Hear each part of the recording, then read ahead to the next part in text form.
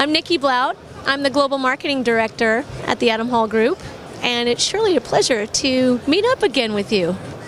2019, very exciting. Um, the year, this year we continue to see our growth pattern. Um, we're very excited to participate at ISE.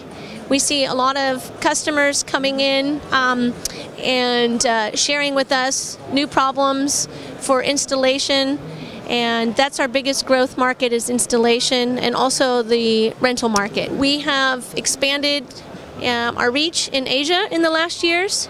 Um, this year at the NAMM show was the first year that we appeared with Adam Hall North America.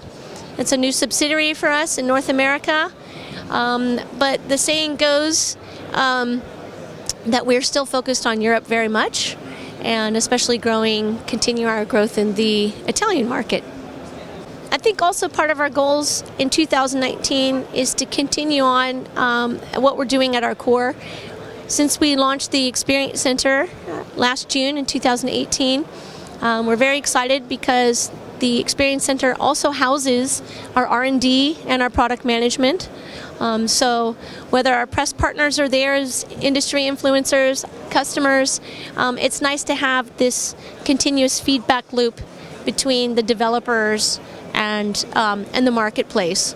So we're very excited about that. And um, one thing that I like is that we can offer everything from smart and elegant pro audio to LED lighting, all the way to the mounting hardware and the cables, uh, the brackets. So um, that's nice to offer that.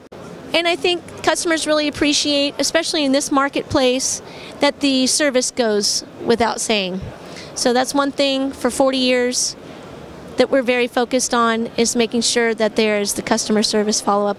So it's a nice time and yeah, thank you very much for, for being here and I wish everybody an exciting time at the show.